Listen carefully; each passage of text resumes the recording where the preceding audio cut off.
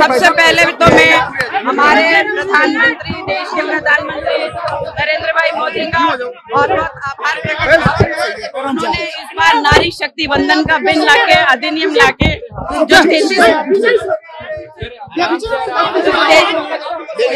शांति रखो शांति रखो उनको व्यवस्था करनी पड़ेगी मेरे को कुछ सुनाई नहीं दे रहा सामने प्रताप सिंह खाचरियावास से आपने कितने ज़्यादा वोटों के अंतर से हराएँगे आपका ठिकाना है ये। जितने से मैं जीतूँगी, उतने से वो हारेंगे।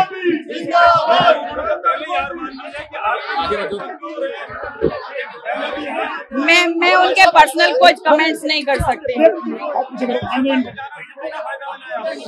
वो वोटों में कन्वर्ट होगा रिज़ल्ट आया जब देखना आप कितना फ़ायदा है। जी। जयपुर में विकास का मुद्दा रहेगा डबल इंजन की सरकार है। जो सेंटर की योजनाएँ हैं, जिससे जयपुर शहर को लाभ मिलेगा, वो सारे काम मैं करूँगी। मेरा जन्म जयपुर में हुआ है, मैं यहाँ की बेटी हूँ, भवनलाल जी शर्मा की बेटी हूँ। उन्होंने जो विकास के काम अपने मंत्रित्व काल में किए हैं प्रदेश में हर एक जगह पर उनका काम आज भी बोलता है और जो पुराने लोग हैं, वो सब जानते हैं। और जो मेरे भाई राम बोरा जी भाई साहब हैं उन्होंने जो काम अधूरे रह गए हैं, उनको पूरा करने के प्रयास करूँगी और करूँगी। बात रही बहनों के तो शक्ति बंधन नमन। की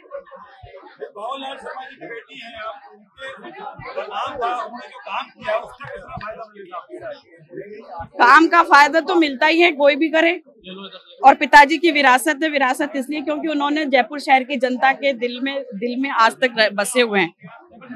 और उनके पचिनों पे चल के जिस तरह से वो सहज सब कार्यकर्ताओं का जनता का एकदम परिवार की तरह ध्यान रखते थे, मैं भी कोशिश करूँगी बेटी का फ़र्ज़ पूरा निभाऊँगी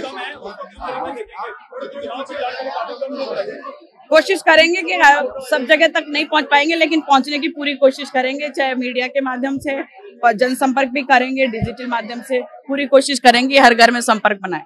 रविंद्र सिंह